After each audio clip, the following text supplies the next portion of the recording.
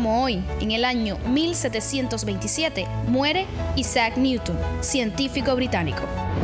En el año 1932, el dirigible alemán Graf Zeppelin inaugura vuelos regulares a América del Sur. En el año 2001, la mayor plataforma petrolera mundial, la P-36 brasileña, con una extensión equivalente a un campo de fútbol y una altura de 100 metros, se hunde frente a las costas de Río de Janeiro. En el año 1861, un terremoto destruye casi por completo la ciudad argentina de Mendoza. Y en el año 1956, Túnez se independiza de Francia. Y amigos, ha llegado el momento culminante. Vámonos con Clarita Tavares y nuestras invitadas especiales hoy en el Día de los Padres Solteros y las Madres Solteras. Adelante.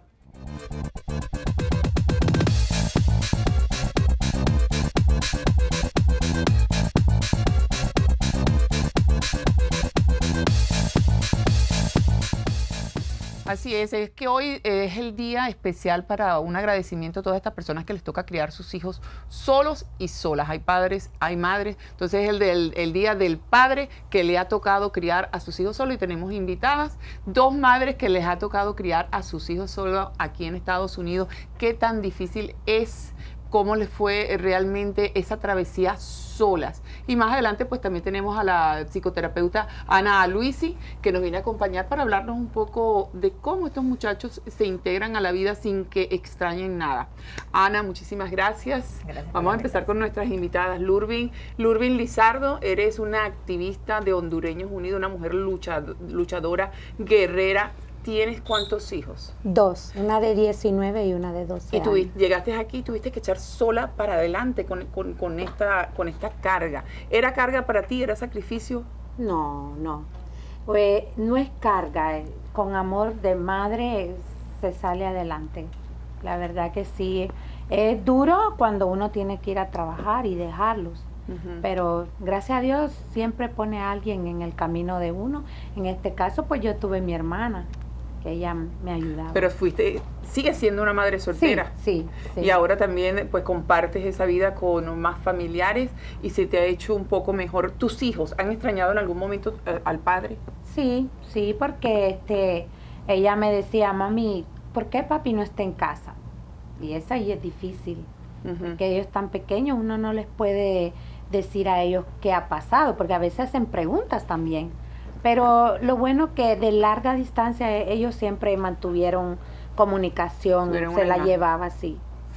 Scarlett Drada, ejecutiva de venta, una mujer que también eh, llegaste y tuviste que echar para adelante con tus hijos. Madre soltera, te casaste hace unos años, pero hace tres años, sin embargo, eh, no fue así toda, toda tu vida. Tuviste que echarle duro a la vida. ¿Qué, crees tú que influyó más en, la crianza de tus hijos como madre soltera? ¿Qué impactó? Bueno, viniendo de un matrimonio con un papá y una mamá fue sumamente difícil porque tú sabes que se extraña al padre, esa figura paterna. La mamá siempre es esa parte tierna, esa parte dulce.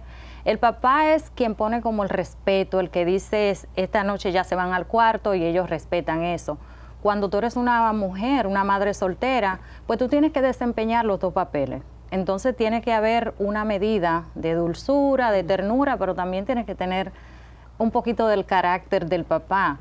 Siempre un niño va a extrañar a su papá, siempre.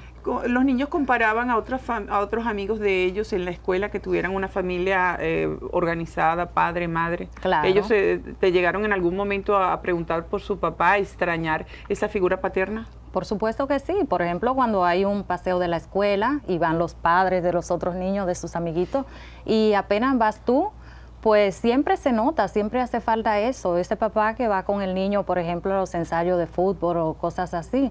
Yo tengo un hijo varón y tú sabes, fue bien difícil porque aparte era el más pequeño, entonces no había esa figura paterna por un lado sí tienen sus tíos que siempre estuvieron ahí, su abuelo, pero no es lo mismo, un papá es irreemplazable.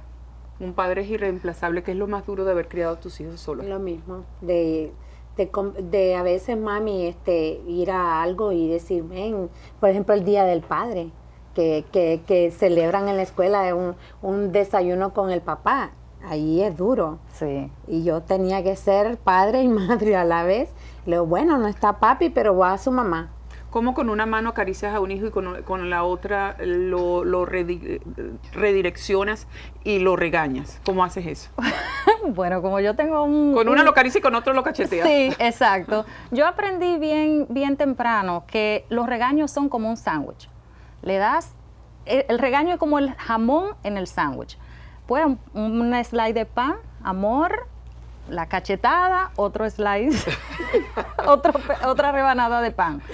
Y eso de verdad que funciona muy bien, trae un poco de balance, porque sí hace falta, hace falta. A los niños yo pienso que hay que darle amor, pero también hay que ser un poquito fuerte con ellos, de vez Una en cuando. cachetada a tiempo corrigió a tus hijos Claro que sí. de muchas cosas Siempre yo recuerdo a mi madre que decía, más vale que lo corrijas ahora a que te lo corrijan y te va a doler. Sí. So, yo eso siempre me lo puse en mi mente y siempre allí corrigiéndolas. Muchachas, yo las felicito, las admiro las dos y yo creo que la comunidad entera en el área de la Bahía de Tampa, Lurvin, una mujer que, que te vas a Washington a pedir por los, eh, por los inmigrantes, has hecho una carrera donde la gente te admira, te quiere muchísimo eh, y, has tocado, y te ha tocado dejar a esos muchachos solos en todos estos viajes, ha sido para la comunidad y para tu familia. Y a Scarlett Drada la, la admiro porque ella ha tenido la vocación de decir, esto es lo que yo quiero y mis hijos tienen que ver lo mejor de mí y cada vez que ella sale a hacer algo lo haces bien. Así que a las dos, cada una en su estilo, este, pues son las madres de ensueño. Esa madre que cualquier persona desea tener y no importa hombre. Este, realmente decían que una madre soltera es lo mismo que un padre, pero con los testículos bien puestos. es cierto. Doctora, psicóloga, psi- psicoterapeuta. ¿Qué es lo que le puede hacer falta a un muchacho cuando crece en una, en una familia que es disfuncional de alguna forma porque le falta una pata a la mesa? ¿Qué extraña más un niño? ¿Realmente se integra bien a la sociedad? ¿No extraña nada? Bueno, hay un debate en la comunidad psicoterapeuta porque hay estudios que demuestran que hay niños que viniendo de, de familias donde hay un solo padre pueden llegar muy alto en la vida y ser muy exitosos. Um, y hay estudios que como que se contradicen y dicen, no, mira, estos chicos son más vulnerables a meterse en problemas, a tomar decisiones. um, que los van a llevar a lo mejor a tener problemas con la ley o un embarazo prematuro con las mujeres. Entonces hay como un debate, pero lo que yo sí he visto, um, primero quiero extender mi admiración a estas madres solteras porque de verdad, como tú decías, toma mucho poder criar a un niño um, solo. Y cuando es más de uno, Tú tienes, tú más. tienes una niña. Un niño, un niño. Un niño. Y gracias he Y tenido la... compadre, y- y- Compadre. y tienes a tu esposo al Y es, lado. di- y es ¿Cuesta difícil. mucho? Absolutamente. Entonces, el hecho de que ustedes han podido criar a sus hijos múltiples, ah, para mí es una admiración increíble porque de verdad, si es difícil crearlo con un padre al lado, no tener el apoyo de esa persona es inmensamente difícil. Entonces, de verdad que toma demasiado. Um, pero lo más importante es que haya una persona o haya una comunidad o personas, otros familiares, Scarlett, como tú decías, los tíos o los papás, que puedan ser esos ejemplos a seguir, que a lo mejor den la atención, porque lo que le falta a los niños, lo que crea los problemas es la atención, la atención que ellos no reciben, el amor, a lo mejor el cariño que ellos les están faltando, porque cuando hay dos padres, si mamá está trabajando, a lo mejor el papá puede decir, ok, yo les voy a dar tiempo, pero si la mamá está trabajando tanto, porque obviamente es más difícil financieramente, esa atención ellos van y la buscan en otro lado y ahí es cuando se empiezan a crear estos problemas. Entonces, cuando hay esa comunidad, ese sentido de familia, que otras personas puedan darle la atención, el cariño y el ejemplo de algo positivo, es más fácil que estos niños puedan de verdad salir adelante y ser exitosos. O sea, que no extrañaron nada. Con dos mujeres así, estos muchachos no extrañaron nada.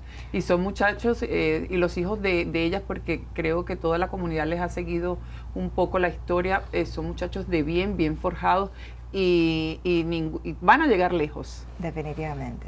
Okay. Bueno, pues a todas, muchísimas gracias. Anita, gracias. Gracias, Clara. Gracias a ti, Clara, por invitarme. Y de verdad, gracias. mi admiración, señores. Y es que estas son las madres que cualquier persona o cualquier ser humano desea tener. Nosotros nos vamos a una pausa, pero usted quédese aquí, que vamos a la primera parte del horóscopo con Emilio, porque hoy es viernes y usted no se lo puede perder. Yo me quedo aquí rindiéndole homenaje a mis eh, invitadas.